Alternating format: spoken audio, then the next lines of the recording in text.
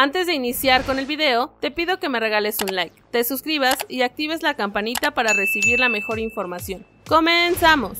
Santos Laguna regresará a entrenar tras un par de días de descanso previo a la League's Cup. Después de dos días de descanso, este miércoles por la mañana regresa a los entrenamientos la escuadra de Santos Laguna para iniciar preparativos con miras a la League's Cup 2023 en la que se medirá al Dynamo de Houston y el Orlando City. A las 9 horas dará inicio la práctica que consistirá en regenerativo principalmente luego del partido amistoso que Santos sostuvo el pasado domingo ante el Sporting de Gijón en el cual cayó dos goles contra uno. Ahora el torneo 2023 ha entrado en pausa para que los clubes mexicanos disputen la League's Cup, en la que se medirán a equipos de la MLS. En el caso de Santos, está ubicado en el Grupo Sur 2, junto al Houston Dynamo y a Orlando City, así que los dirigidos por Pablo Repeto entrarán en acción el próximo martes 25 de julio en el Shield Energy Stadium, mientras que el sábado 29 se medirán a los Leones en el Exploring Stadium. Este torneo debe de ser aprovechado por el cuerpo técnico que encabeza Pablo Repeto para tratar de enderezar su equipo luego de la igualada con el Atlas en el Estadio Corona, que decepcionó a su afición, así que ahora buscará trascender en una competencia internacional ante clubes estadounidenses, luego de que en la anterior se quedara a la orilla, lo que derivó en el cese de Pedro Caixinha como entrenador. No hay que olvidar que esta será la segunda participación de los laguneros en la League's Cup. En la edición 2021, los verdiblancos alcanzaron la ronda de semifinales. Por lo pronto, este miércoles, el entrenamiento inicia a las 9 horas en el territorio Santos Modelo y a la misma hora reportarán jueves y viernes el sábado el ensayo está programado para iniciar a las 18 horas y el domingo a las 9 horas para viajar a las 14 horas hacia Houston, Texas. Por otro lado, Carlos Izquierdos confiesa por qué rechazó volver a la Liga MX con Santos Laguna. El central del Sporting de Gijón, el argentino Carlos Izquierdos, que estuvo a punto de dejar el club asturiano para volver a Santos Laguna, reiteró que una vez frustrada esta operación había rechazado otras ofertas, porque lo que prioriza es seguir en el Sporting, ya que tanto él como su familia están muy contentos en Gijón, y Izquierdo reconoció que hace semanas había mantenido una conversación con el presidente ejecutivo del Sporting,